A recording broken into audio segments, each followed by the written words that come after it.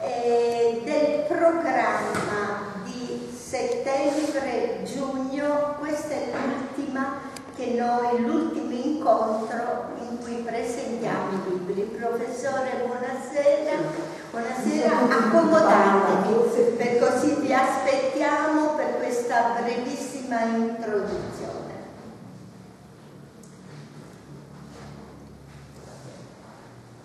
Accomodatevi.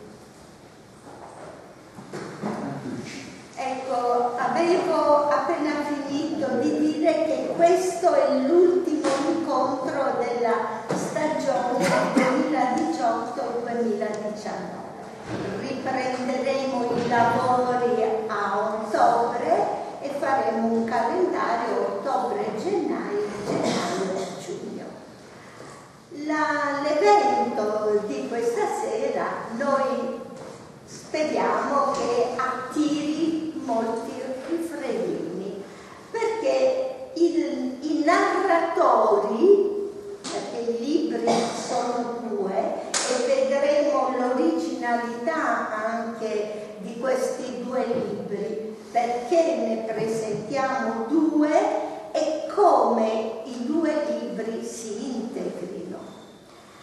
Abbiamo Massimo Acciai Baggiani con il sognatore divergente e parlerà di Carlo Messinger. Mentre, mentre Carlo Messinger parlerà viceversa di Massimo Baggiani. Quindi due libri che si completano.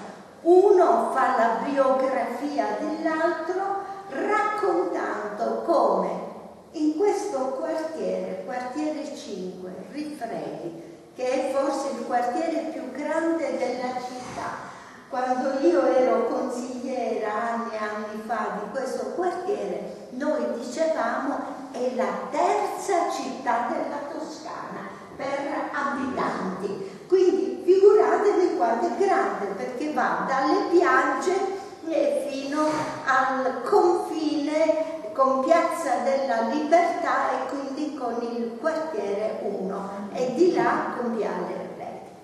Con questa premessa dico che il quartiere di Rifredi oggi rispetto al passato ha cambiato molto.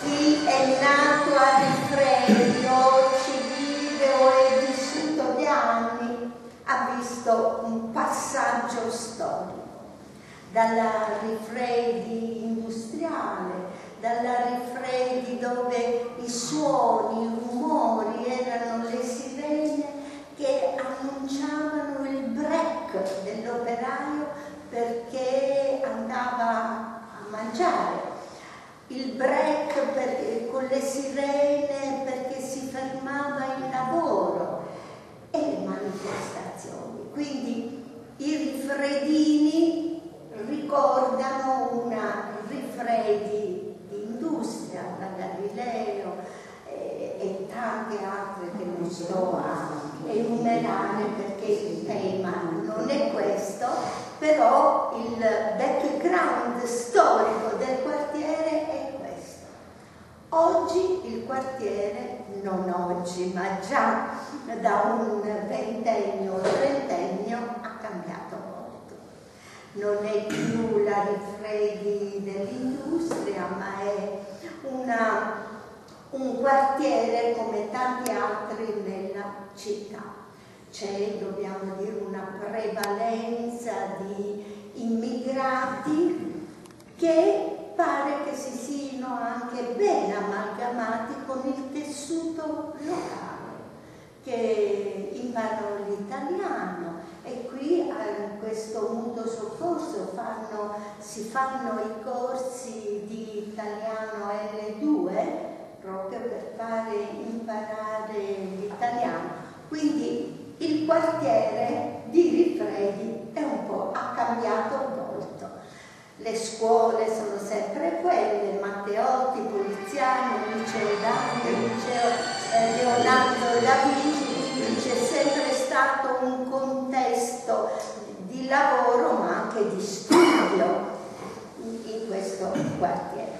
E poco a poco questa che era una biblioteca chiusa è stata riaperta. Questa biblioteca oggi fa parte del, di tutte le biblioteche fiorentine, si possono prendere i libri, eh, leggerli, ecco, come qualunque biblioteca. E noi la stiamo sfruttando per fatti culturali, incontri con l'autore.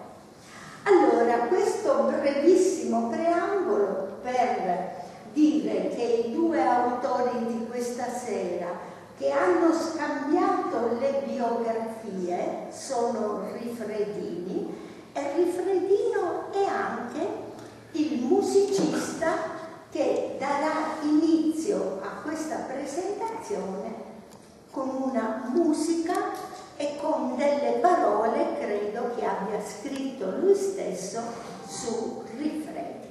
Bene, grazie, ascoltiamo. presentare un attimo Bas Boffer, che ringrazio per essere venuto qui a cantarci questa canzone che ha scritto lui stesso, dedicata al quartiere. Quando l'ho sentito ha detto ci vuole. Casca proprio Ci a vuole. è proprio, cioè meglio di così, insomma. E io e Tommaso siamo, ci conosciamo da tanti, tanti anni, eravamo a scuola insieme proprio qui alla Matteo. Eh, la Matteo. Nominato solo, stavamo in via Malpighi E entrambi stavamo anche nella stessa nella via. stessa via, quindi diciamo che come appartenenza al quartiere è bella profonda. Io sono nato e cresciuto a Rifredi tra il Poggetto, Piazza Dalmazia e anche l'SMS e ho una forte appartenenza al quartiere e quindi per questo motivo ho detto ma omaggiamo il quartiere di qualcosa, un paio di, un paio di note e insomma la, la- la roba che ho scritto è questa, si chiama Rifredi, non sono un musicista né un artista, era proprio una cosa avanza tempo e dura due minuti quindi si fa veloce insomma. Sono nato e sono cresciuto nel quartiere di Rifredi. Matteotti il poliziano, nonno ci portava a piedi, con la casa in via Malpighi e la nonna in via Mercata, con gli amici della scuola giocavamo agli spietati. Scusate. Con le bici cerbottane nel parcheggio del Poggetto, era tutto così grande, così intimo e perfetto. Dalle bici ai motorini ed il sabato disgrazia, se trovavi il corpolaio chiuso in pizza riferiti non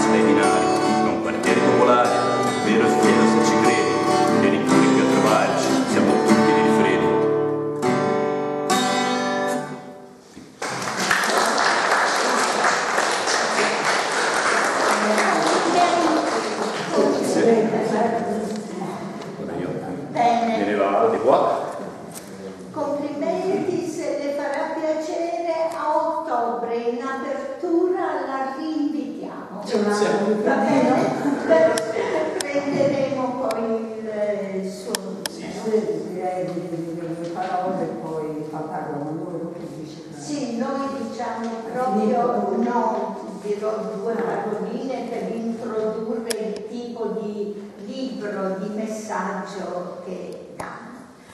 Bene, in apertura brevissima presentazione perché come dicevo i libri sono particolari, sono due biografie, l'uno ha fatto la biografia dell'anno e non si tratta semplicemente di una biografia, ma si tratta anche direi di una evoluzione letteraria, di una educazione letteraria.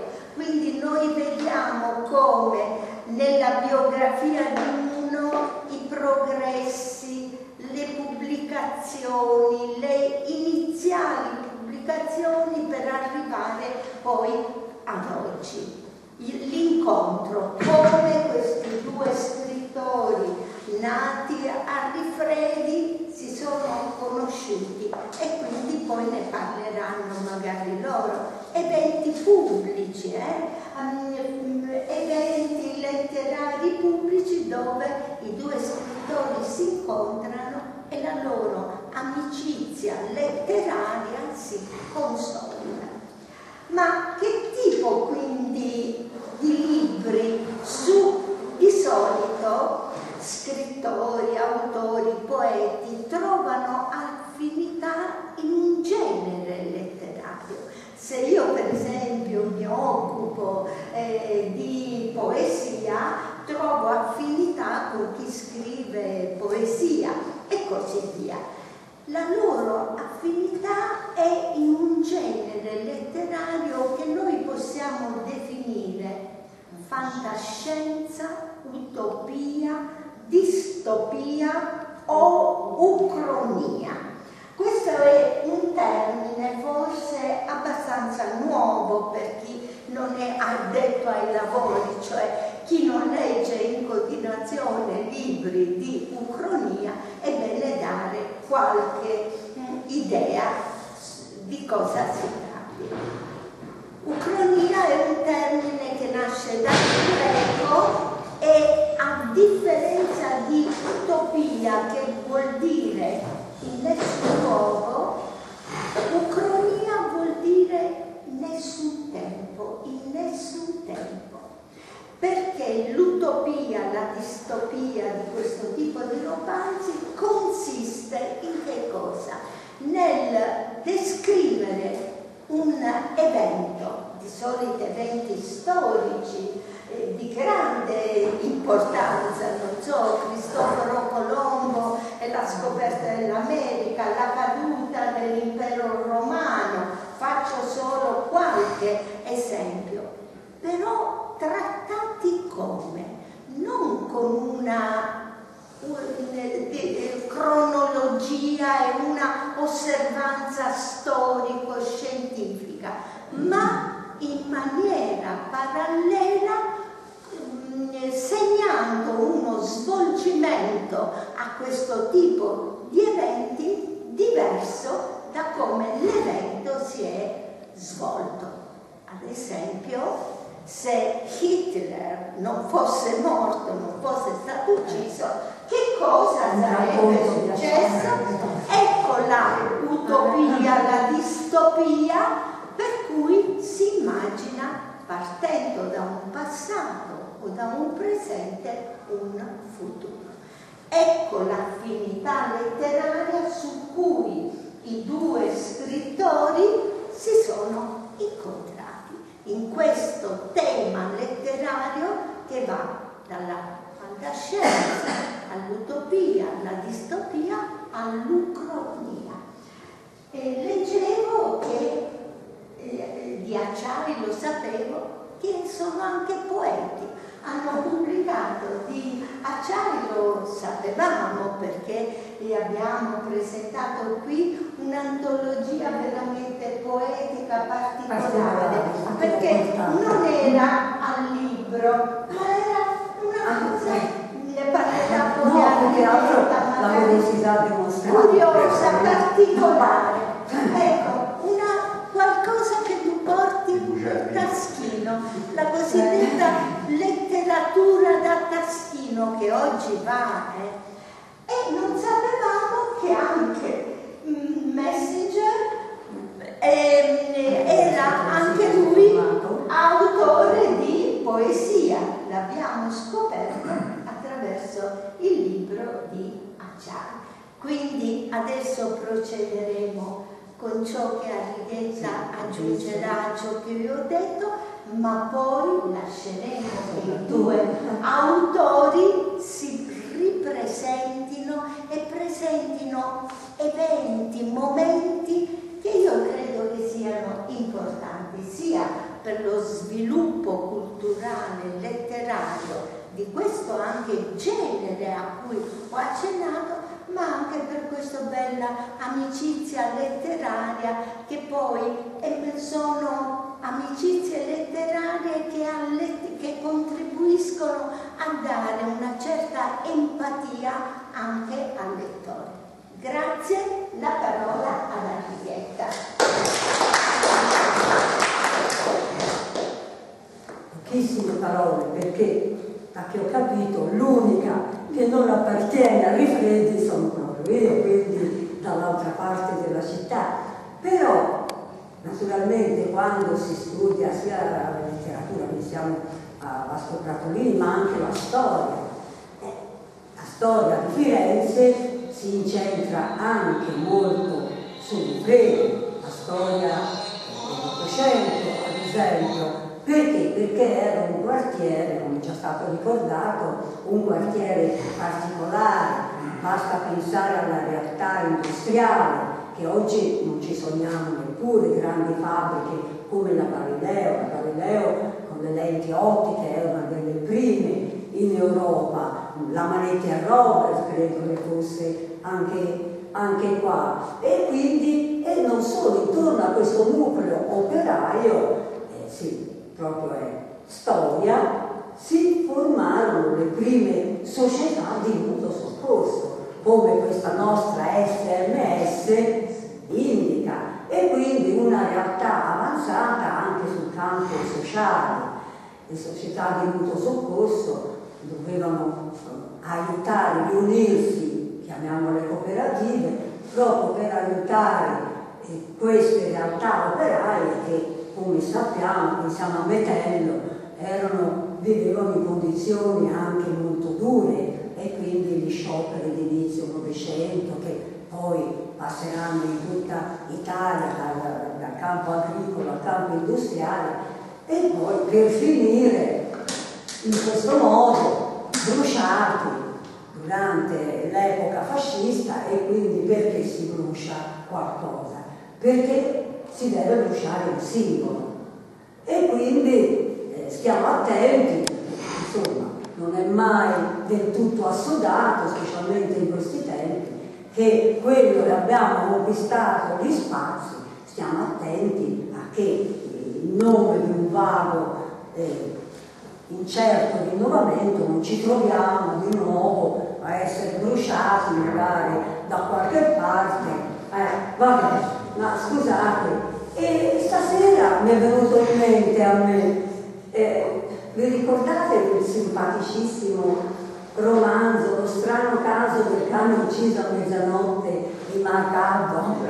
Eh, io quando ho visto questi due libri ho uno strano caso anche a Rifredi, ma solo che eh, la realtà è molto diversa. Due autori che per caso penso, si sono trovati a vivere a rifletti e quindi uniti non solo nel, fisicamente nel luogo dove abitano, ma anche nella loro narrazione.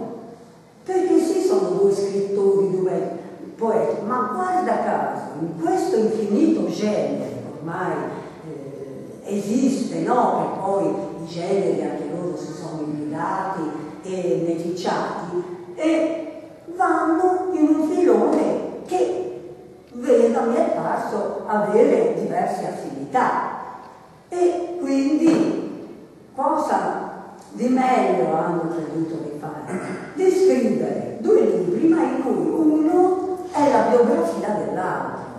Ma una biografia assolutamente non di 100 pagine, una biografia che fa veramente il quadro completo di questo lavoro. E quindi io parlerò pochissimo perché meglio è che l'uno interpreti l'altro e per soffermarmi un pochino di più su quello che noi credevamo di aver tenuto a battesimo eh, con il suo primo romanzo nel 2011, sempre ad est, e quindi è Massimo Acciai, che da quante volte è venuto qui lo possiamo un po' ormai definire il genius loci. Eh, e poi li chiamiamo, eh, diciamo, narratori di rifredi, e va bene, ma soprattutto narratori di rifredi perché fisicamente stanno qui, perché si sono i dialetti incontrati, ma non ci sono persone che invece spaziano così grandemente nel tempo e nello spazio. Ora io non conosco questi libri, ma si è parlato di tempo che viene diciamo, manipolato come lo spazio, anche accomunati dalla comune passione per la fantascienza. Io quando ho letto il primo romanzo di Acciai sempre a Esta, e ti devo dire che su quella messa mi sono interrogata a trovare simboli nascosti dei viaggi iniziati, poi dove portare, però c'era qualcosa che, che non tornava. E perché? Perché eravamo in un altro genere che poi via via abbiamo imparato a conoscere. È molto importante, penso, questa biografia di Carlo Messinger, il narratore di Freddi, perché fa la figura, traccia questa figura di acciaio in tutta la sua poliedrica sfaccettatura, perché, ma romanziere, autore di racconti, saggista, poeta, linguista, perché la parte della lingua che mai specificamente abbiamo affrontato qui, ma è molto importante perché Acciai è un esperantista e quindi tutta un'elaborazione, un lavoro non solo sulla lingua, ma sulle lingue. E invece non trascura, quindi anche memorialista possiamo dire, perché qui non ce l'hai portato, ma in radici si rifà insieme a tuo cugino. Però nella, scatola. Ma te non lo devi tenere nella scatola, devi presentarlo qui. Perché a me ha colpito queste radici dell'uccello? Perché tu nomini posti, Vicchio, Santa Maria Avezzano, che sono, che sono anche nella mia storia. Eh, per me quando tu mi dici Vicchio, Santa Maria Avezzano, le caselle, per me sono volti, sono volti di persone grandi, ma sono volti anche di simbette, che adesso saranno nonni forse anche loro, però, e quindi mi piaceva molto che tu ce l'avessi portato, ma non per mostrarlo, per parlare, ma insomma, ti perdoniamo, ti, ti perdoniamo, sì, sì, sì. Ma non solo, è un saggista, un fiore saggista, perché, e questo l'abbiamo presentato, la metafora del giardino in letteratura ed è un'opera veramente completa, perché dal giardino dell'Ede, via via a seguire nel mondo arabo, nel, nel mondo greco e via via fino alla contemporaneità ed è poi il formato stesso fatto di schede, no? di autore, ogni autore una scheda, è un'opera veramente pregevole, pregevole, come la comunicazione nella fantascienza, che credo sia stata la tua tesi di laurea, e che accentua poi questo tema importantissimo che è la comunicazione.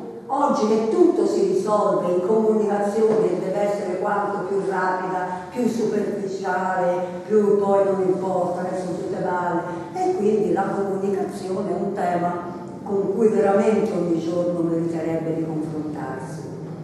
E è anche un bello boccaccio, almeno lo Stato, la compagnia dei viaggiatori del tempo E qui spazia veramente solo nel quartiere, ma nei, nei luoghi diciamo, tipici della letteratura di Firenze come le Ciberossi. E queste, questa novelle, novella compagnia non fugge dalla peste come i fanciulli e le fanciulle del Boccaccio, ma fuggono da una realtà contemporanea e trovandosi nei posti più disparati e con molta, con molta forza anche di suggestione, il luogo è definito e poi le storie, ecco, e le storie si ritorna in questo futuro, no? che mh, vede come, come è, come potrebbe essere, per cui mi sembra ci sia un racconto in cui proprio il protagonista o la protagonista è, vive questo spaesamento fra una parte de, della via che è rimasta nel contemporaneo e questa che è avanzata molto, molto di più. E poi anche uno sperimentatore, perché prima del successo del collettivo Woming ha provato la scrittura a quattro mani Massimino parlami del cielo, eh, nella promessa. Ti sei, io lo ricordo, tu forse no. Eh, ecco, che era veramente, ed era la prefazione del suo coautore Matteo Nicodemo. E a seconda di come volgo lo sguardo. E mentre il suo coautore lo svolgeva a terra, acciaio, diceva Verso. Cioè, veramente queste poesie che vivevano questa stessa sfasatura nell'arco della stessa poesia mostravano in fondo poi la personalità diversa di questi due autori. Ma in questo narratore di, di Rifredi, che è proprio il profilo, penso che risalente di Massimo Acciai, c'è poi nella quarta parte un intervento in diretta di Massimo che esordisce in un modo un po' strano, cioè strano nel senso che meraviglia. Sottolineo sempre il mio senso di non appartenenza ad alcun luogo. Quindi un rifredi per caso? Ma invece se si approfondisce poi, eh, si scorrono le pagine, si vede che poi, anche non volendo, anche non riconoscendo, c'è questo vincolo, perché in fondo casa è quella che custodisce un nucleo d'affetti e gli affetti non sono solo quelli della famiglia, già stato, sono già stati ricordati dei luoghi che sono un topos dell'infanzia, la Matteotti, il giardino della Flora e quindi forse non è mai possibile ritornare a questi luoghi con un senso di distacco. E c'è il rimpianto per la sua vera casa, quella che lui chiama vera casa, quella in cima alla salita di Via Malpighi. Ma stai lì tu ora? No, ora, ora no, eh, quindi. è... Eh, allora è una cosa, permettetemi di leggere qualche riga, perché anche se questa affermazione che comincia così da tutto cittadini del mondo, no? E dello spazio, come se loro, loro si sentono forse, ma c'è il dettaglio che colpisce attraverso no? l'emozione da cui non ci difendiamo mai del tutto e che bene che ci colpisca così perché ci rimanda a un sentimento molto umano e anche di appartenenza dice questa acciaia che parla. Talvolta un dettaglio può evocare qualcosa di familiare a uno straniero e diciamo portarlo a un'età più felice e insieme molto lontana nel tempo. Così un luogo sconosciuto d'improvviso si fa quasi una casa, più casa della propria, perché la prima casa è sempre la migliore, anche se più scomoda. I ricordi sono così. Quando non li cerchi, sono loro che cercano te. E chissà quanti luoghi simili ci sono sparsi nel mondo. E questo è Acciai che parla a se stesso. E come si vede, cittadino del mondo e dello spazio, ma in fondo questa radice di fredina c'è e quindi ben venga questo narratore di Rifredi. Ma vorrei concludere mostrandogli una antologia che è già stata ricordata, antologia di un quarto di secolo, 1991-2016 e uno si aspetta un grande volume, mentre invece questo, come già tentava di mostrarvi che io gliel'ho proibito, perché veramente quando noi abbiamo ricevuto questa informativa e allora mi piaceva leggere le prime, una prima e una ultima, ultima nel senso, perché si vede sia la vocazione primigenia ma anche l'evoluzione. 1900, se tu avessi scritto un po' più là, grande, forse sarebbe meglio. Sarebbe in camera. 1991. Guardo su nel cielo, presto chiuderà, soffia, forte il vento, che succederà? Guardo l'orologio, mezzanotte già, un lampo mi riscuote, un tuono seguirà. Vedete, c'è proprio... Una canzone, eh? bisogna dire una canzone. È anche una canzone, e c'ha il ritmo della canzone e poi c'ha la rima. Sì, perché Però- dietro la musica. Sì, però è anche l'approccio penso più spontaneo, almeno secondo uno stilema che ormai molto meno, ma per un certo tempo è stato legato alla poesia. Mentre invece, ne prendo una a caso, Montpellier, si parla ancora di paese, però ha un respiro molto più ampio, ormai è acciaia, cittadino del mondo e quindi parla, la intitola anche in un'altra lingua. Siamo nel 2010, quindi ancora avrà molta strada da fare, ma molta ne ha fatta. La geografia del cuore non segue linee né confini. Vi sono luoghi vicini e lontani dove ho posato sguardo e respiri. Non all'Italia, a Firenze o al quartiere volgo il pensiero, ma al vero aspetto del cielo notturno, che ovunque è uguale e ovunque m'accoglie, e non cogli distingui continui sulla carta. E mille contorni che abbraccio con gli occhi e mille ritorni a nomi che dissi. E quindi c'hai anche poeta e poi tante altre cose che si scambieranno tra loro. Grazie. La parola adesso a me. Carlo Menzinger, mi riallaccio alle ultime parole della, della signora eh, Righetta eh, sul, sul tema della territorialità di, Massimo Acciai. Non per nulla questo libro l'ho chiamato Il narratore di Rifredi e, e c'è appunto una connotazione geografica che è quella di questo quartiere.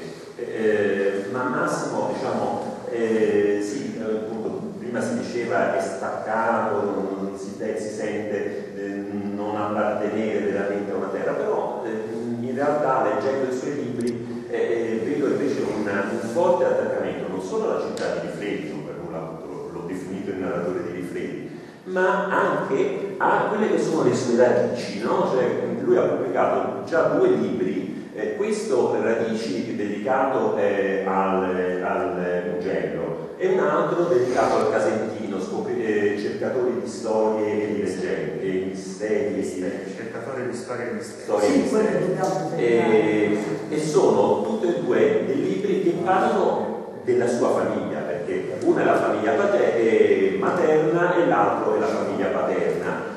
E sono dei libri appunto, sul territorio, perché parlano sì della famiglia, ma parlano di queste terre, del, delle loro, del modo di vivere in zone, di, di alcune località rilevanti. Sono nel contempo libri di viaggio, eh, libri di memoria, libri eh, appunto di, di riscoperta di radici, e dei saggi, e un po' di tutto. Quindi diciamo, questo è la- uno degli aspetti del Massimo Acciai saggista, diciamo, che è uno dei primi che ho conosciuto.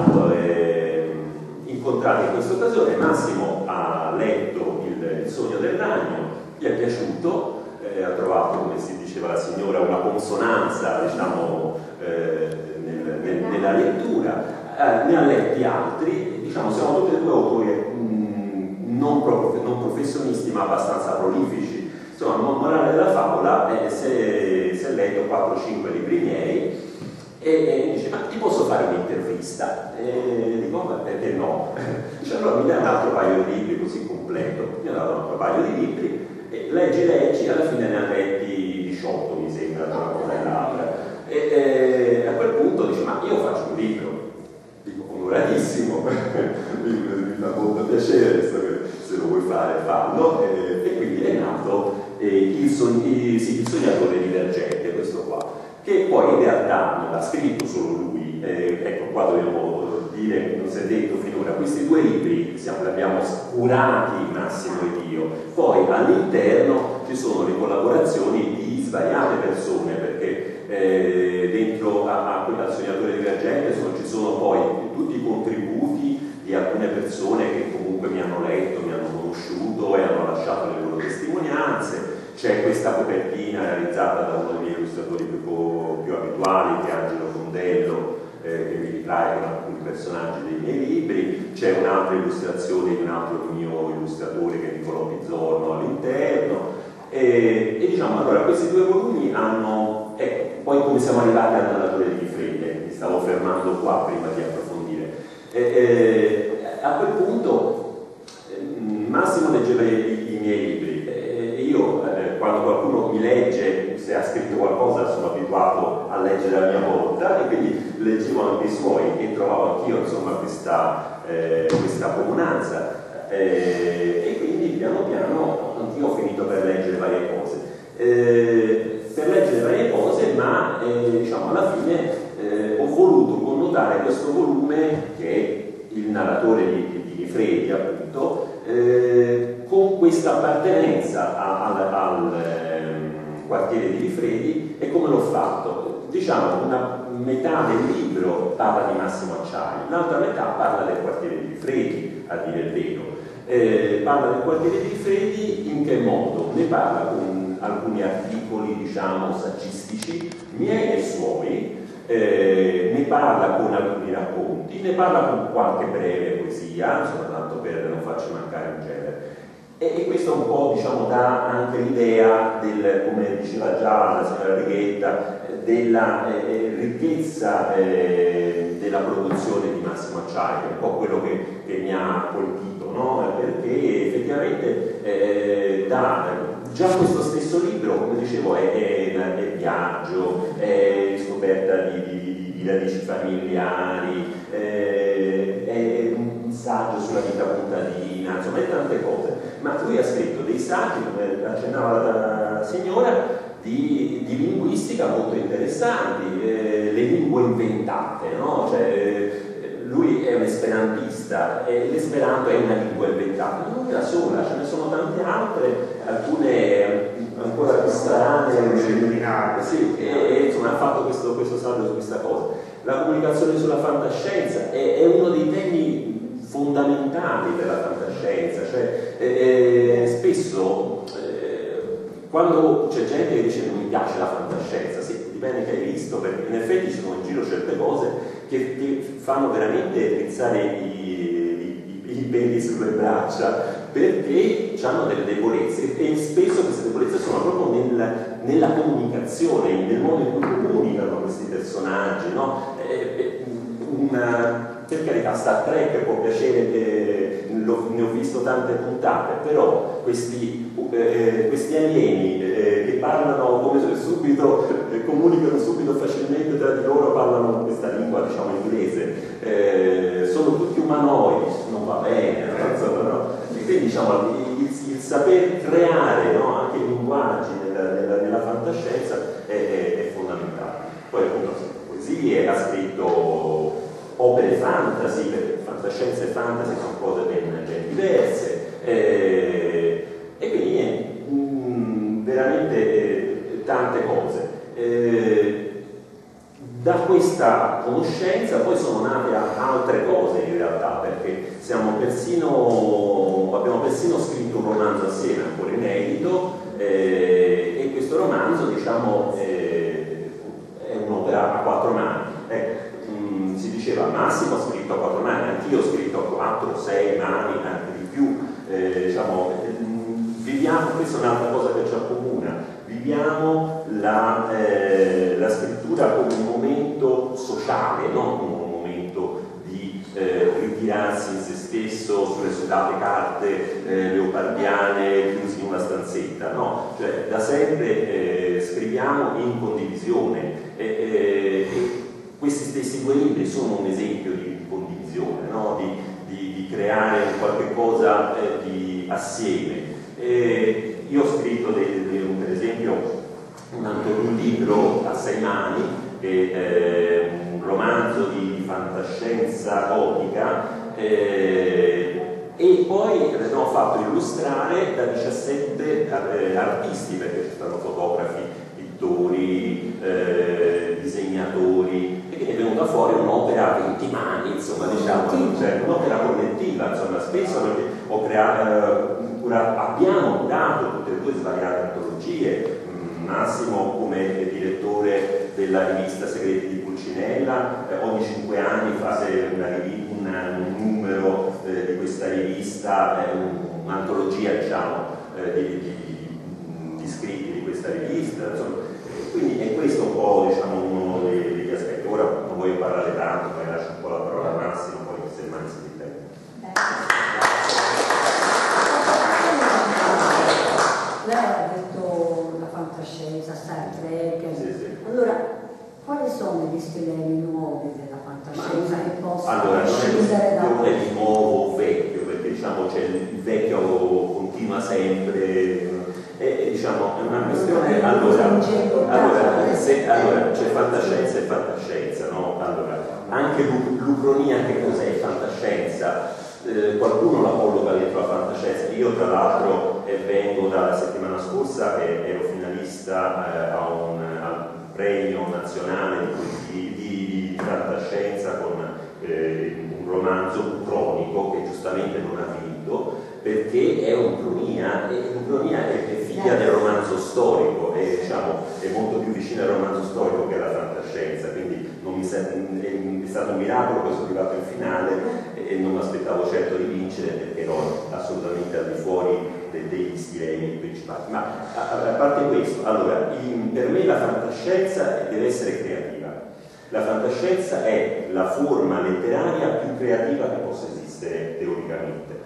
E eh, quindi diciamo, gli autori di fantascienza che realizzano al meglio quello che possono fare sono quelli che creano dei mondi totalmente nuovi, che sono capaci di eh, in, inventare personaggi, eh, mondi che sono il più possibile eh, distanti dal nostro mondo, ma ovviamente siccome la lettura è rivolta al, a un pubblico umano, eh, devono essere... L'autore è, l'autore umano, ma devono quindi comunque avere, ed è questa la grossa difficoltà, il grosso equilibrio, al loro interno un, messaggio che, che, comunque possa emozionare, creare empatia in un lettore appunto umano, pur parlando di allievi per dire, insomma, no? E questa è la grande difficoltà. Diciamo, il mio romanzo Via da Sparta, che poi sono tre volumi, diciamo, Il sogno del ragno, Il del ragno La figlia del ragno, eh, cosa fa? È, è, è un'ucronia e cerca di creare un mondo, cioè di, in, in pratica è una variazione storica. No? Io ho detto, immaginiamo eh, che 2400 anni fa sia cambiato qualcosa nella storia e che eh, oggi ci troviamo in una situazione totalmente diversa. Cosa è cambiato? La, la città di, eh, di, Sparta ha sconfitto Tebe, è, andato viceversa nella battaglia di Eucra. Ne è conseguita la distruzione di Atene, la scomparsa totale di tutta la cultura ateniese dal nostro mondo 2400 anni fa. Che succede? La scomparsa totale della cultura ateniese ha delle ripercussioni colossali. E, e possiamo, il classicismo non può esserci più, eh, il Rinascimento non può esserci più, eh, la rivoluzione francese, tutto questo si è perso. E quindi immaginiamo un mondo nuovo, diversa, con un modo di vivere diverso, con eh, usi e costumi completamente diversi e, e questo è l'ambiente in cui è, è, raccontata la storia eh, di Via da Sparta. Insomma. Non si è reso un po' l'idea. Eh, certo, l'ho reso perfettamente. Il, direi la, il binomio fantascienza e um, libro del futuro e, e l'impatto è questo, perché mentre il libro di fantascienza passando il tempo, può essere superato come è avvenuto. I primi libri di fantascienza si basavano su che cosa? Sul viaggio nello spazio e quello era qualcosa di utopico perché il viaggio sulla luna, ma cos'era? Quando i viaggi sulla luna si realizzano, l'utopia crolla mentre il genere di ucronia, il genere di ucronia è ben diverso come diceva appartiene più al mondo della storia e non della fantascienza, perché l'ucronia, il dissidio Sparta-Atene c'è sempre, c'è sempre stato, bisogna vedere il punto di vista con cui l'autore l'affronta. Ecco, eh, direi, la preziosità dei due generi e l'evoluzione diversa che i due generi nel tempo hanno. Sì, diciamo, l'ucronia è un genere che ha veramente dei potenziali narrativi vastissimi. Diciamo, il primo a scrivere ucronia è stato Tito Livio a Burbe Pompita, in cui immaginò per esempio un incontro tra Alessandro Magno e i Romani. Eh, il termine nasce nel 1857 con Charles Rendier, che era un saggio però, non era un romanzo, ma lui immaginava un mondo, dei mondi alternativi a livello saggistico, cioè come l'ucronia come strumento per studiare la storia. Ma poi abbiamo diciamo, anche diciamo, autori eh, importantissimi che l'hanno fatto, ma mh, che non vengono sottolineati come no, codici. No, perché eh, per loro è un libro minore, non c'è un libro... Non necessariamente minore, ma semplicemente non viene etichettato per dire eh, Saramago, eh, la, la, tentazione di Cristo, è un'ucronia, cioè si immagina una vita alternativa di Cristo. Eh, Ishiguro, un altro premio Nobel come Saramago, eh, ha scritto Non lasciarmi, qui si immagina una Gran Bretagna, eh sì, un pesante, insomma, un mondo molto duro, un mondo distopico, ma anche un cronico, perché una Gran Bretagna non esiste. Quando hanno dato il Nobel l'ha strozzato no, è un grandissimo autore. Eh, Winston Churchill, l'altro premio Nobel, che scrisse sulla sul, battaglia di Gettysburg, che scrisse su Hitler. Eh, poi abbiamo anche dei, degli autori bestseller come Stephen King 221163, nella torre, nella torre nera, e vabbè, eccetera, eccetera. La svastica sul sole. La svastica sul sole, certo, è un romanzo di fantascienza cronico, quello è riconosciutamente cronico. Cioè quando si fa un esempio di ucronia si dice la svastica sul sole, Faberland, eh, però appunto quello che stavo citando erano opere che sono croniche di autori importanti, ma che non viene detto che sono ucronie, insomma, no? Eh, ucronie ce ne sono, sono state scritte, eh, non, non, infinite, e ce ne se, se ne potrebbero scrivere da lontano. Certo.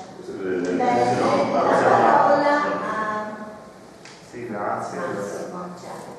Sono contento di essere questa sera davanti a, ad amici, tante persone che conosco e che in qualche modo si allacciano anche alle cose che si dice che abbiamo all'editoria.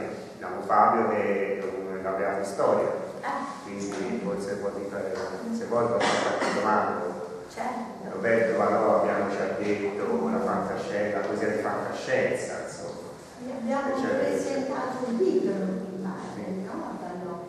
Candano. Eh, C'è le lettere Eh, sì, di Federica Zamini. Esatto. E lui era il Gianni. come, come editore, come anche quella E a proposito, fa una piccola parentesi, io sono oggi in veste di autore, ma anche di rappresentante della casa editrice Porto Seguro, che ha pubblicato questi nostri due libri e anche altri che ho scritto. E sì, ecco, mh, questa apparente contraddizione tra il cosmopolitismo e mio attaccamento al quartiere. Io sono nato qui a Rifedi, a Freggi, in particolare, all'ospedale, una volta si casa, io invece appartengo a quella generazione in cui si nasce in, eh, in ospedale. Però la mia prima casa non era a Rifedi, era a Gavinara, ma non mi ricordo nulla perché ci sono stato solo per i primi due anni. Poi sono andato a vivere a Progetto, in Piano Quindi, dove vive anche, ma vive sempre No. qui, no? Vedo speccuto. Eh, vabbè, sempre comunque in zona, ecco. Eh, frequentato le scuole elementari qui a Matteotti, dove ho conosciuto Tommaso e altri personaggi. E tra l'altro già all'epoca c'era questa vena artistica, perché si scrivevano poesie insieme, cioè c'era questa cosa particolare. E quindi il rapporto con il quartiere, un rapporto forte, come dicevo, io poi mi sono trasferito eh, sempre in quartiere, però non più avanti. E, ma come è già stato detto, ho conosciuto Carlo in questa occasione della presentazione di questo libro, Carici. Io abbiamo anche uno zio che citato anche lui quando si parla del ramo materno della mia famiglia, quindi del Mugello, mio zio Siro, tra l'altro anche lui artista, che c'è questa vena artistica di Baggiani che scorre, e è stato uscito anche un suo libro, tra l'altro, curato me. Ah, C'è questa, complimenti. questa anticipazione. Che tipo di arte lo zio? È un po' di tutto fa, fa da pittore, scultore, Interessante. insomma crea oggetti, scrive poesie, canzoni, tutto. Anche Cioè, meno, un eh. artista completo. E cosa volevo dire? Sì, appunto, insieme al mio cugino Pino e al mio amico Italo Magnelli abbiamo fatto questo libro, abbiamo pubblicato con Porto Seguro, che è una casa editrice di Firenze, per cui sto lavorando in questo periodo. All'epoca ho lavorato con Porto Seguro. E con- contemporaneamente sono usciti anche altri libri, sono stati presentati in questa presentazione collettiva che la casa editrice fa una volta al mese, la prossima è il 13 di giugno, tutti i dati, tutti i però. Dove- E festa Lungato, dove- Lungato Santa Rosa, no? Dove l'hai detto? Dove- il circolo della Rondinella. Il circolo della Rondinella, il circolo della Rondinella è vicino a Torino, Lungano, Santa Rosa. Lungano, no, Lungano, Soverini, sì, comunque lì è proprio Lungano Santa Rosa, dove finisce quello, comincia Lungano Soverini. Il 13 alle 18. Il 18 e 30, grande festa di fine estate, cioè di inizio estate, scusate. Sì, tutta la pelle. Sì, sì, è un posto molto bello, speriamo sia una bella giornata, così si sta tutti all'aperto, arriva al fiume, eccetera, eccetera.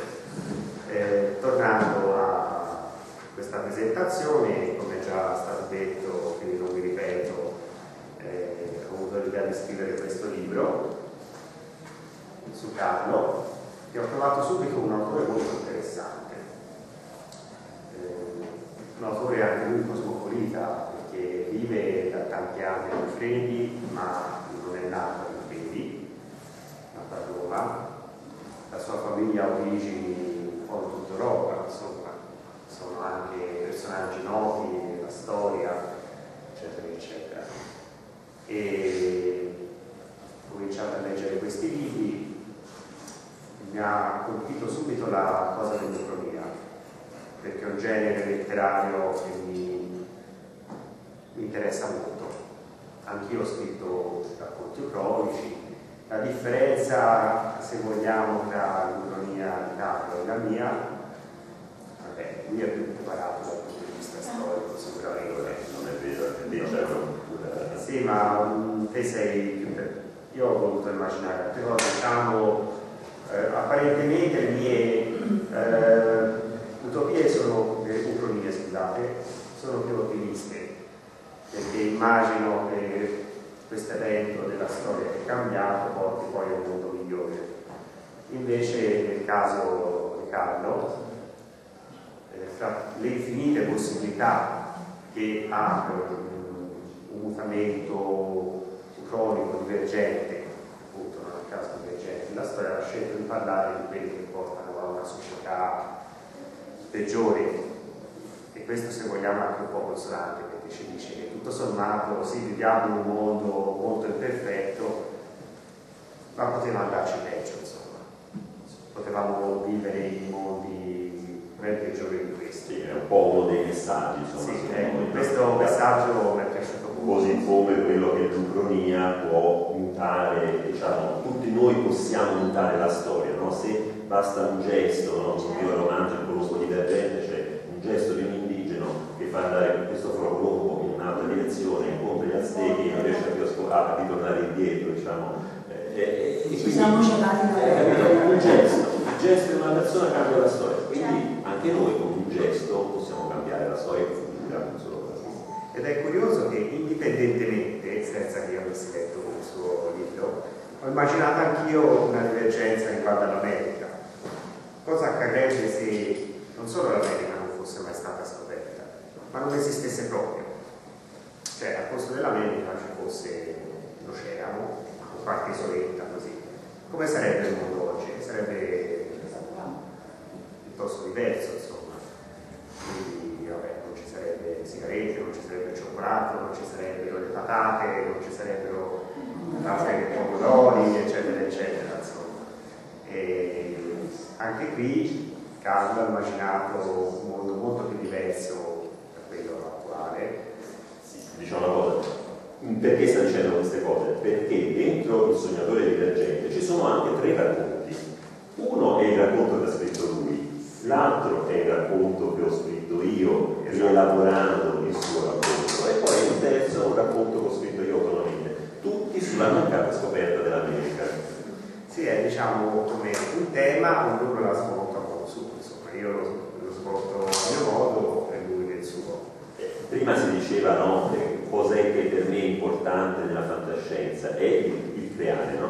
Allora, eh, eh lui aveva scritto questo racconto in cui appunto non ci sono le sigarette, non c'è il pomodoro, eccetera, ma un attimo, non, non c'è l'America, qui non, non c'è solo quello, quindi mi sono inventato un linguaggio nuovo, eh, mi sono inventato delle, delle città completamente diverse, eh, cioè, eh, io sono per la teoria della farfalla che batte le ali da una parte e provoca l'uragano in un altro continente, no?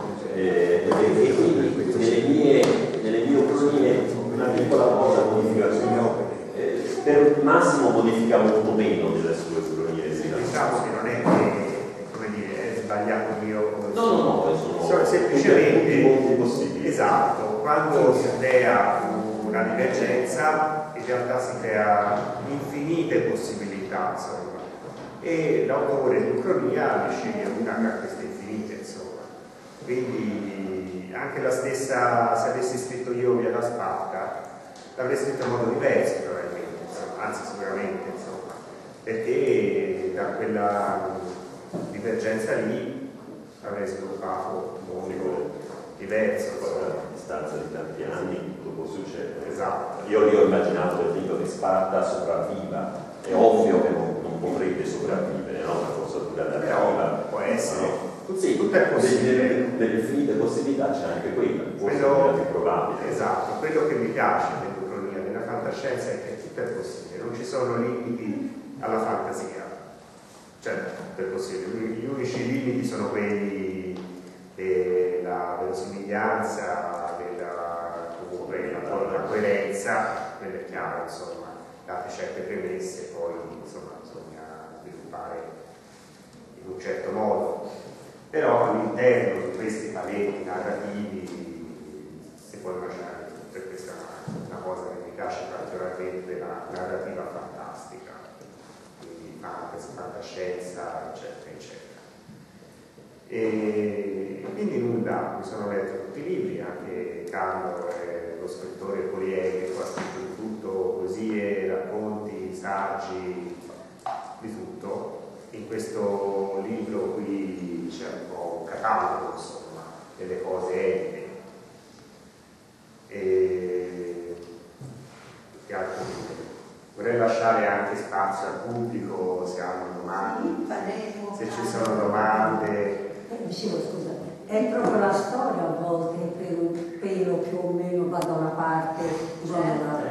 Mi sembra l'anno scorso, due anni fa, Valerio Massimo Manfredi pubblica la battaglia di Teutoburgo e lui stesso dice, beh, fosse andato in un altro modo, l'Europa Unità sarebbe stata allora, quindi è veramente che basta, cioè lo scrittore può lavorare su questo, questo come si potrebbe chiamare, frangente, Coincidenza. questo è coincidenza favorevole, che cambia veramente. Io- e quindi la fantasia un terreno aperto. Io ho curato anche un'antologia che si chiama Cronie per il terzo millennio, eh, in cui ci sono alcuni racconti miei e di altri 17 autori.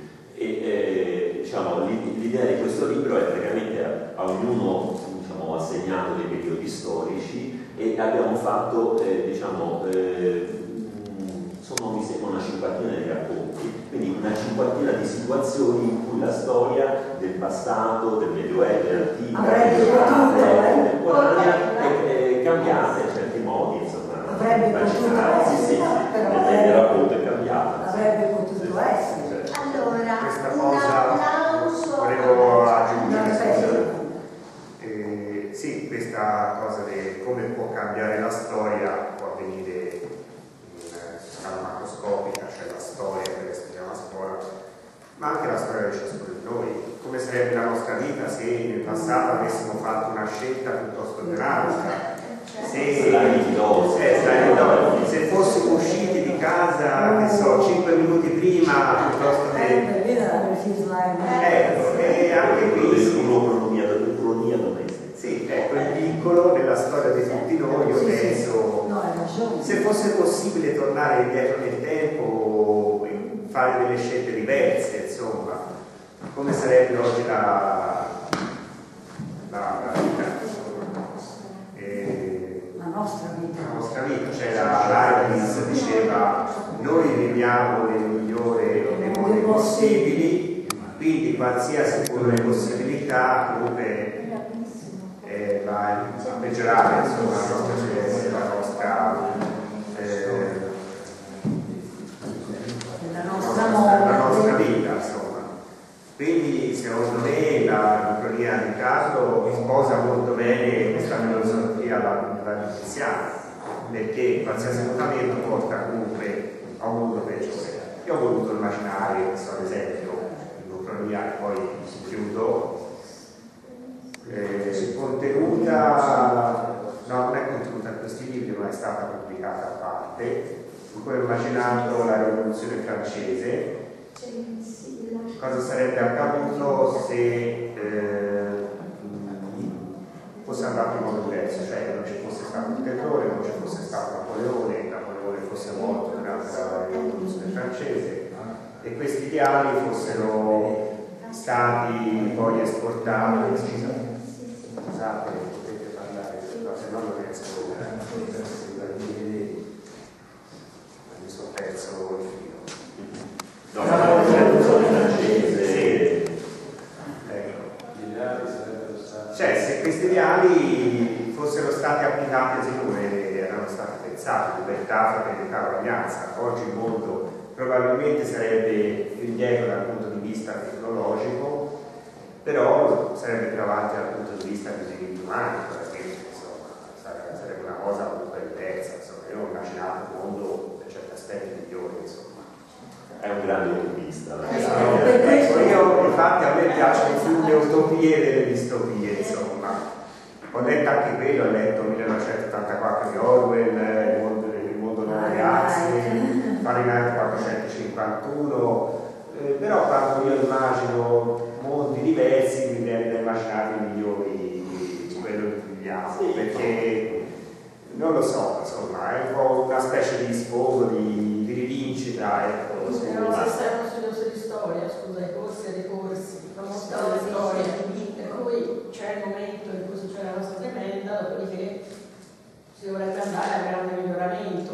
Poi dopo di nuovo si riprecipita, poi dopo si rinasce, cioè c'è un po' questo andazzo sempre, quindi pensare che dopo la rivoluzione francese va tutto bene, eh, siamo tutti eh, mi sembra un po' utopistico. No, diciamo è una di quelle infinite possibilità. Certo, eh, certo ma non potrebbe durare per sempre, ecco questo voglio dire. No, per sempre purtroppo non dura nulla, insomma. Però io immagino che comunque ci sia un progresso della razza umana che a un certo punto, eh, e questo è un punto molto importante, anzi grazie di avermi fatto vedere questa cosa con cui vorrei chiudere.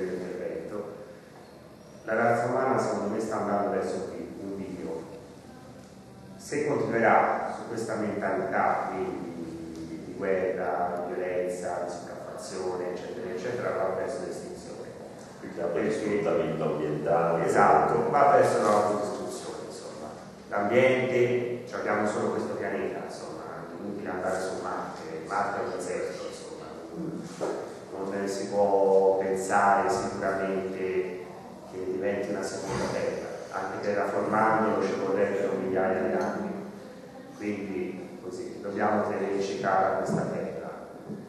E così. Altrimenti un cambiamento di paradigma, un pensiero dell'uomo che comprende che fare del male agli altri è farlo a noi stessi, in questo caso si va verso una società migliore. È un buddista. Eh. Io, sono, io ho questa idea, a un certo punto l'uomo, eh, scusate, finisco, a un certo punto l'uomo si troverà di fronte a questo video. O va verso l'autodistruzione o va verso eh, una società utopistica se vogliamo, ma secondo me l'uomo a un certo punto farà la scelta giusta, insomma, ci, ci penseranno i nostri siamo, siamo giustamente a un video molto, importante e duro, nel senso che veramente eh, i, rischi per, per, la nostra civiltà sono parecchio grossi.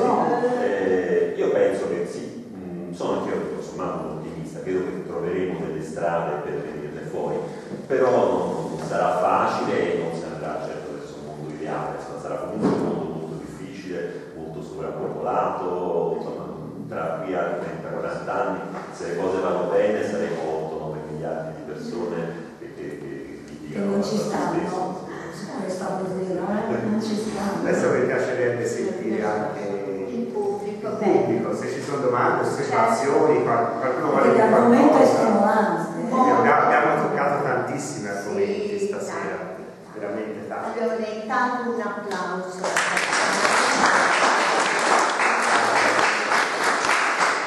Bene, ci sono domande perché appunto l'argomento è stimolante. Chi ha fatto letture, chi ha... L'ultima cosa, la signora, l'ultima cosa, il contenuto è quello che dicevi te del video, della parte giustamente come ha detto lui dopo saremo troppi, però è lo stesso contenuto del terzo segreto di Fatima. Cioè che dice del terzo segreto di Fatima, cioè che dice o il mondo continuerà come guerre, o sceglierà l'altra via, una delle, delle tre cose che disse la donna e che poi era segreto poi è stato pubblicato. un po' esperta su questo. Eh, questo mi trovo preparata. È stato pubblicato questo terzo segreto e Allora è un segreto. sarebbe- era, era un segreto, poi è stato pubblicato. Segreto di Pulcinella. Eh, sì. Vabbè, ma l'hai visto? Beh, scusa, se non è una mia, mi taccio, mi taccio, mi taccio. Se non è una mia, ok, non dirò niente.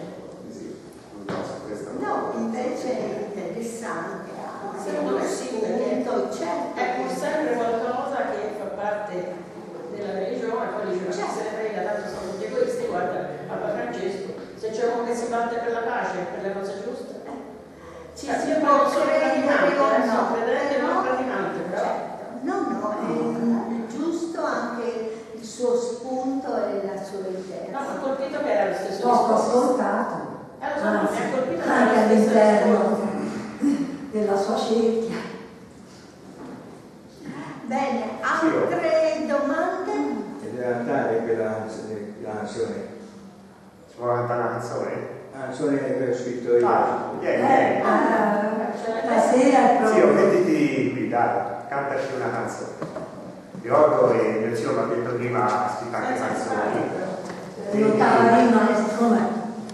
Io ho scritto sette canzoni, tra quali tre si balla sempre tutte le sere perché lo dà musicisti e le, suona lui.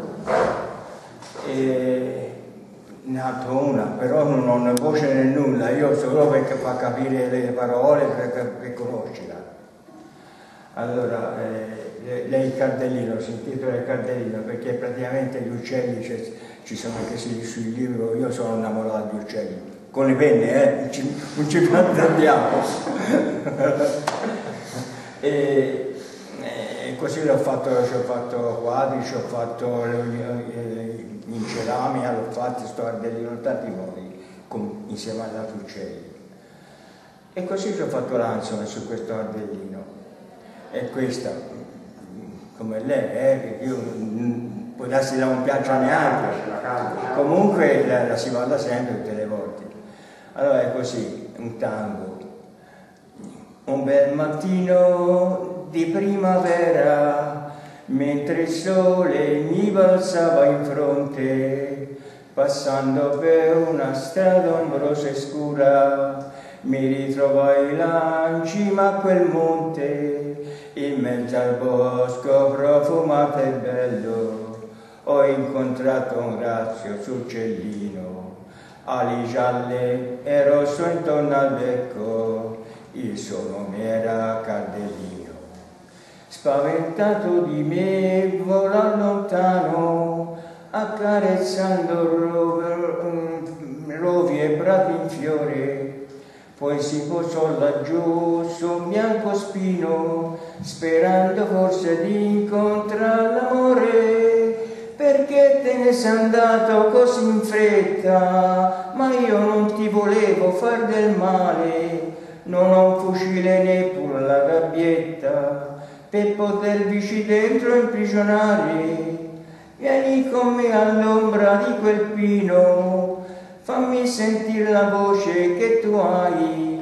Sarò tanto felice, o Cardellino, che di te non mi scorderò mai. Ritorna Cardellino, torna da me. Io mm,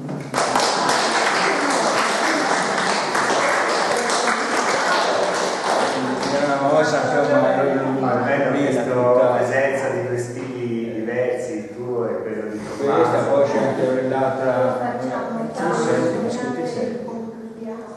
la musica. No, vuoi fare un mix,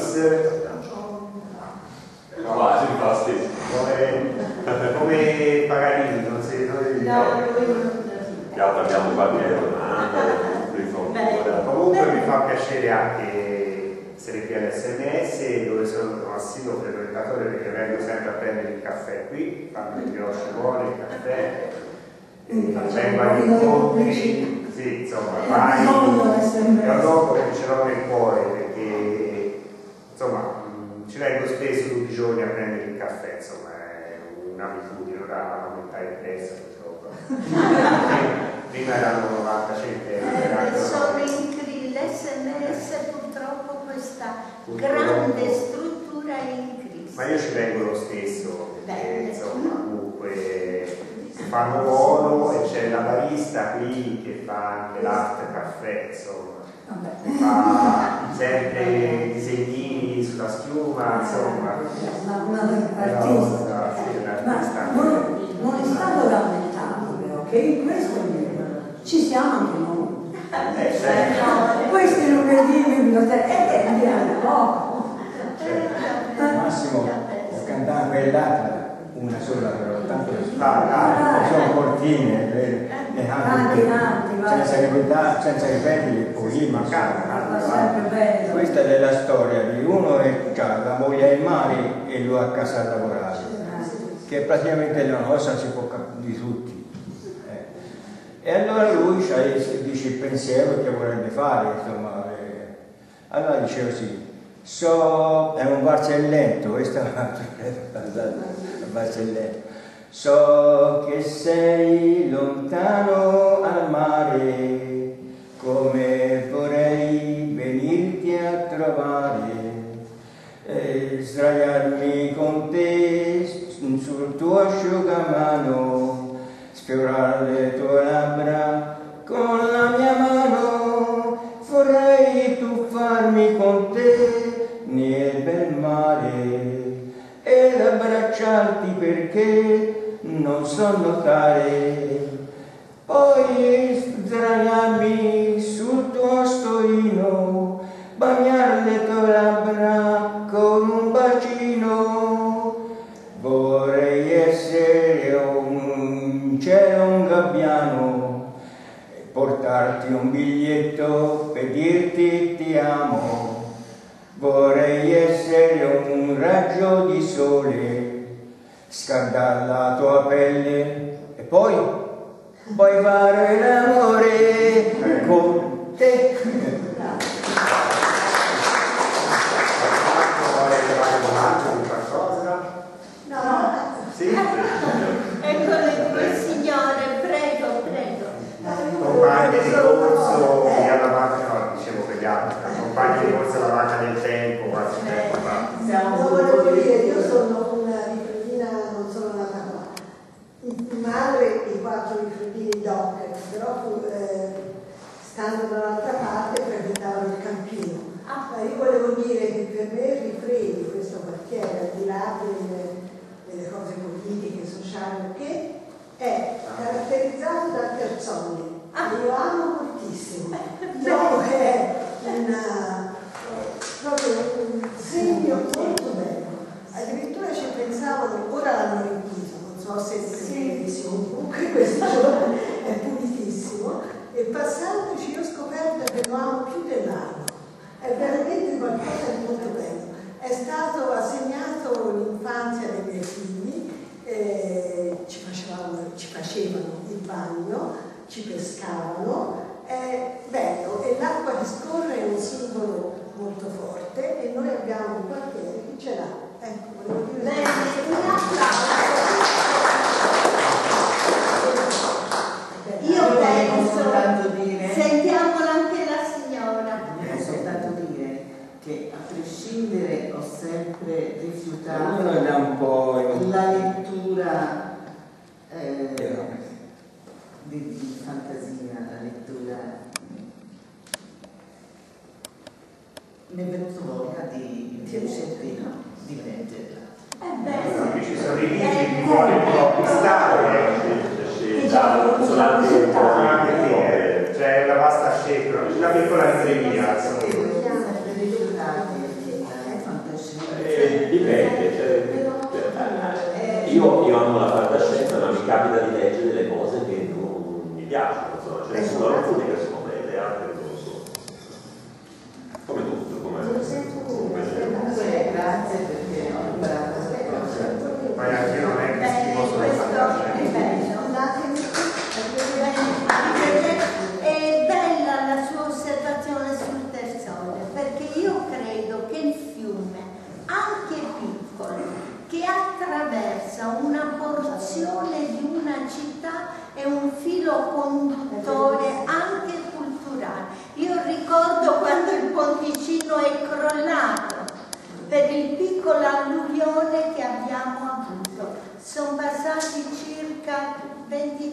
26 anni, eh, quando è crollato il ponticino qui, del Terzolle proprio dove abito io.